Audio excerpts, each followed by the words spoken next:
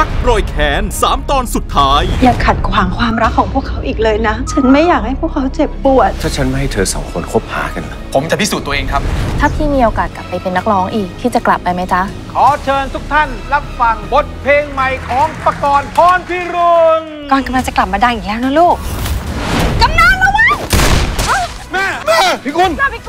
ลุ้นไปพร้อมกันกับเพลงรักโรยแขน3 ตอนสุดท้าย วันนี้เวลา6โมงเย็น